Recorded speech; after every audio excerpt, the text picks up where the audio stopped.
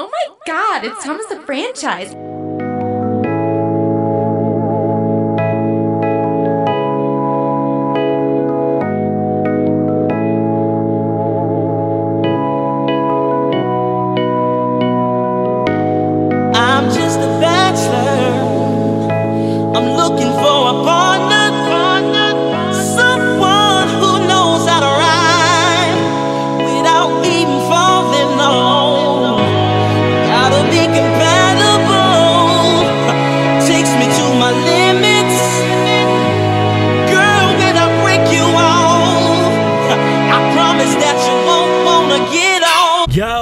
Going down, y'all? Hope you guys had a good weekend. I definitely did. WrestleMania was crazy last night. Hardy Boys returned. Undertaker retired. It was cool. I was really happy with the show. Also, copped the Royals on Saturday. Wasn't really that hard of a cop. I saw a lot of people had issues getting them. I got them off the sneakers app. I didn't have any issues. Locally, it kind of was an issue. Dallas wasn't able to cop them. I tried to go cop them locally. It didn't work out. My battery died. It's not really worth showing you guys. We didn't get any shoes. We're just waiting in line in the cold for no reason.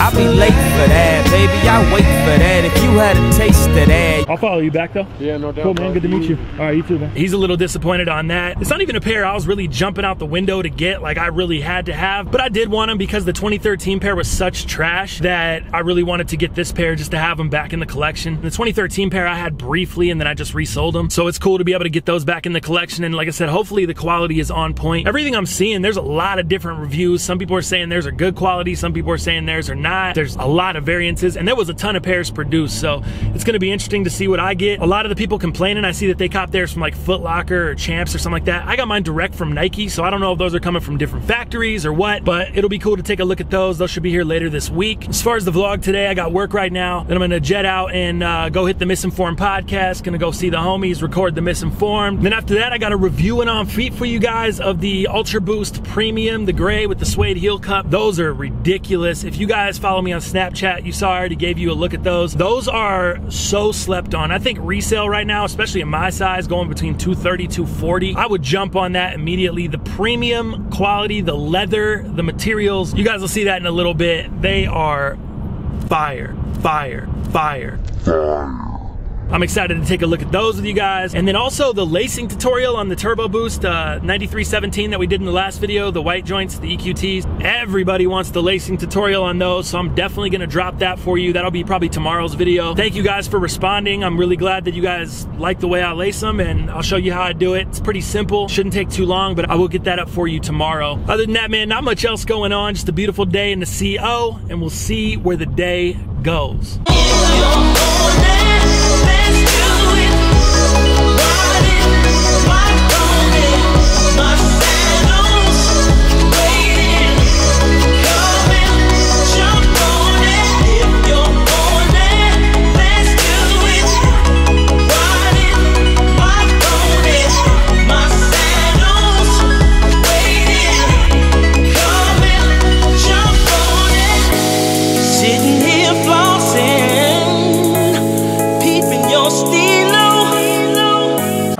Saw, I stopped and got milk on the way into work today because Samsung sent us all this breakfast cereal for this meeting and we got some left over. So I brought some milk in so the team can eat. I think I'm gonna give these Looky Loops a go right now. So let's set this right over here like that.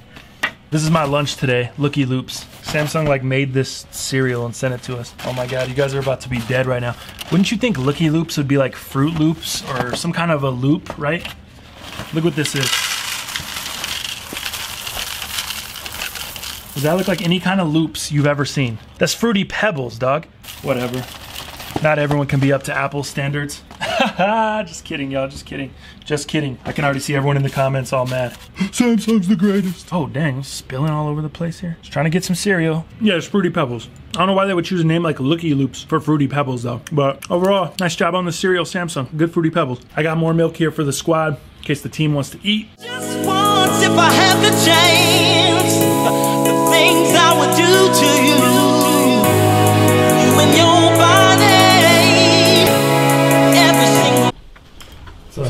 How you guys doing? Oh, you're Thomas, right? Yeah. What's up, man? I'm Joe. Oh, okay, yeah, cool. yeah, for sure. It's my brother Adam. Joe's little brother. All right, man. Good to meet you guys. Yeah, you too, bro. Yeah.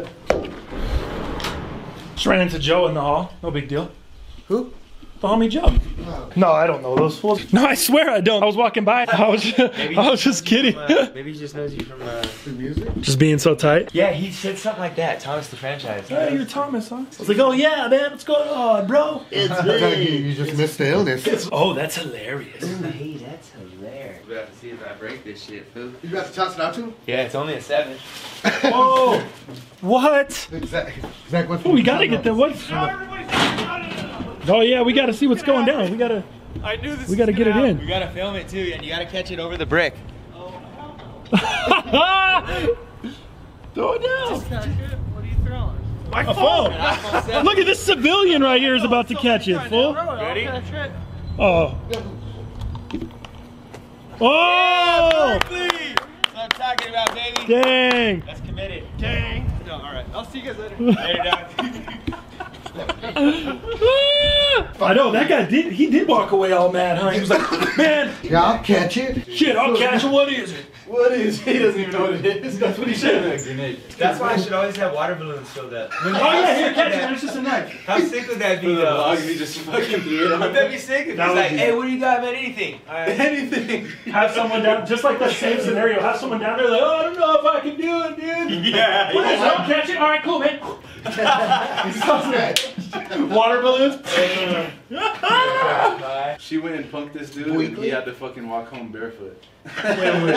she got her shoes back. It was some dub zeros too, black and gold joints. Dub zeros. I was gonna spoil that WrestleMania shit for you. Were you? Because Thank God. I saw you specifically like I turned off my Twitter notifications. John Cena fucking. Proposed to Nikki Bella. That ring was ridiculous. You got a ring? Oh, Did you see the Hardy talking Boys about- came back? I watched it. You watched Why did wrestling? you watch I, it? Just because I It was saw on, you're like, It yes. was the Hardy Boys came back, You know, spectacular you fashion, and So- Swanton Be bomb off there. a 20 foot ladder? Um, it's On not- through some other the ladder? ladder match. Yo, what is going down, y'all? It's the Misinformed Podcast. I am Thomas the Franchise. Sitting next to me this week, my man Johnny Chill. What it do? Sitting next to him, Trav Nasty, Travioli, Anything, anything, anything under the sun, baby. And our guest this week, DJ Simone on the podcast. What's going on, girl? All right, guys, I'm back home. And like I said earlier, we're going to take a look at some shoes. We just wrapped up the Misinformed podcast. So big shout out to DJ Simone for coming through. We really appreciate it. She is killing it right now. A lot of good content, great interview. So make sure you guys go check that out on iTunes in the podcast section, on SoundCloud, wherever you listen to podcasts. Just search Misinformed, Misinformed Podcast, Misinformed Show, and you'll be able to check out that interview. But enough with all that nonsense. Let's get into what you guys came for, and that's to take a look at some sneakers. First of all, we start with the box label. There you go. The LTDs, the premium quality on them is so sick. I think this is my very first premium Ultra Boost that I've ever bought. Yeah, I mean, I have some other LTDs, but they don't have the premium materials that these have. When I show you guys, I mean, the materials used on these joints are primo. And for all my Mexican homies out there, no, I'm not talking about your cousin. I'm talking about premium quality. So let's get into the shoe, man.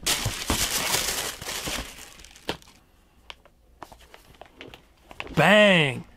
There they go, man. The Ultra Boost LTD Premium Gray. Let's let you guys look around the shoe real quick.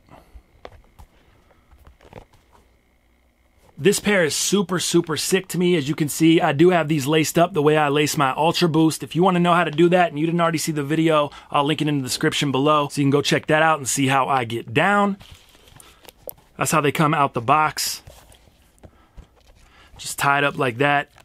Continental tag on the inside of the right shoe. Now, before I get into the shoe, one thing that was different on these that I noticed is you know how uh, all the Ultra Boosts come with that sticker inside, or most Adidas shoes now come with that sticker inside, and that's kind of a really good way to tell if they're authentic. I mean, it's not always to be there. If you're buying from a seller, if you're buying on StockX, you're buying from somewhere else, and they don't have that sticker inside, it doesn't mean they're fake. This is just a really easy way to tell that your shoes are authentic because Adidas puts this tag on the inside. But where I was going with that as far as the tag, so I noticed this one here, it's definitely a different shape and it's definitely a different style. Everything on this one is printed horizontally. All my other ones in the past, like this is one from my, I think these are from the Energy Red Ultra Boost. That's how they normally come. You see how it's vertical on this one?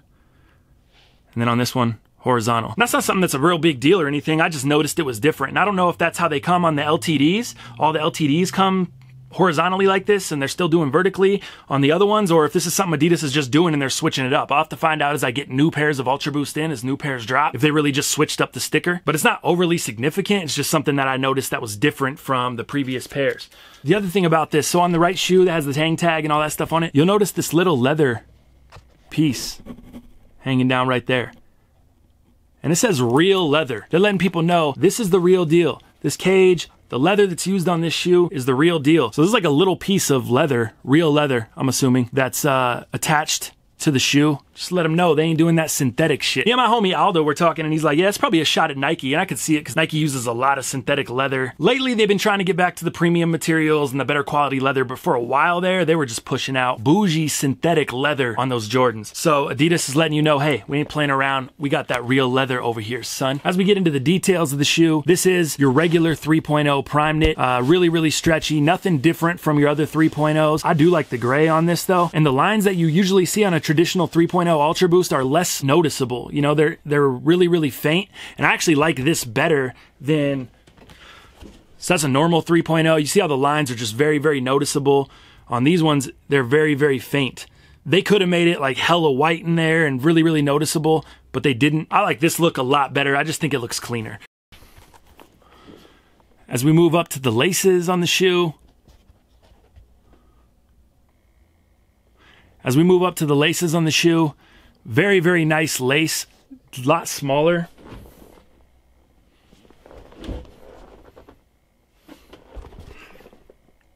As we move up to the laces on the shoe, very, very nice laces. They're really, really thin and they're a lot smaller than the other Ultra Boost 3.0 laces. They don't have any kind of design on them. They're just a flat gray, a very like thin, flat gray lace, almost like boot laces or something. The thing I like about the laces is that when I lace them up like this, they hang and they sit to the side really, really nicely. That's something that I don't get on my other 3.0s. They're really stiff and they kind of stick out a little bit until gravity kind of breaks them in. These ones just hang down right away. Very, very nice, like super soft premium laces on there. On the tongue, you have the Adidas logo. It's the exact same on both shoes, and this is reflective. As we move down the side, the cage that's holding the laces in is a nice premium leather, or as Adidas said, real leather. And then on the inside of the cage, they have this soft brown suede, which the brown matches the brown on the inside of the shoe, and it also matches the lace tips. These lace tips here, initially I thought these were like wood or something.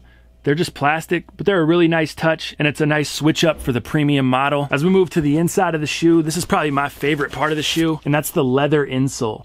This is an all leather insole, super, super soft. Let me take it out for you guys. So the thing I noticed about this insole, not only is it leather and it's super, super soft, but it's thicker. This is thicker than a traditional Ultra Boost insole. Like it just has, it just has a little bit more padding to it. And that's kind of what gives the premium feel when you put them on feet. When I put this shoe on feet, it definitely felt just a little bit nicer than a regular Ultra Boost. It felt more comfortable, felt more padding. And you guys know how comfortable a regular Ultra Boost is these premium ones, just something about the leather mixed with the extra padding, just really, really nice on feet. Now, I haven't worn these for a day out yet, but what I would say is for me, this is a 12 and they still felt cool, but they definitely felt noticeably more snug. And I'm not sure if that breaks in when you wear them. I assume it probably does. But initially, when I put them on feet, they just felt a little bit more snug, not uncomfortable, not too tight, not too small. I don't need to half size up but they're more snug. That's obviously because the thicker leather insole on the inside is pushing your foot up a little bit, just makes the shoe fit a little bit more snug. So if your shoe is already snug, you might want to size a half up on the premium joints just to make sure that it's not too tight. But like I said, for me, it's good. They're just a little bit snug and I imagine they'll loosen up. Huge, huge fan of that premium leather insole though. Very, very nice. As we move down to the back of the shoe or the heel cup, you notice you've got this suede and this is a super, super soft, really, really nice suede. Same thing on the inside. Ultra Boost is stamped in there. Very, very nice. The thing that worries me about this is my heel cups and my cages kind of get beat anyway. Beating up the leather cage and kind of scratching it up a little bit, I think that'll look cool. I think it'll give it character, just like a girl with a leather bag or something, or if you got a leather wallet, whatever. Leather, when it gets kind of beat up and worn, it kind of gives it character.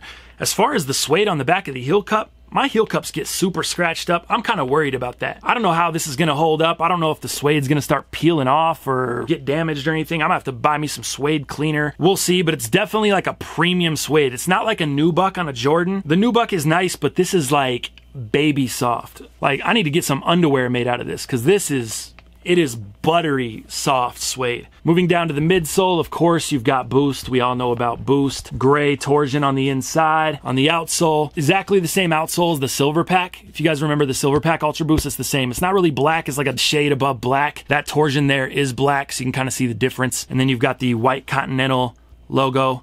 Adidas logo on the toe. Overall, just a really, really nice shoe. You can see on this cage, there actually already are some scratches.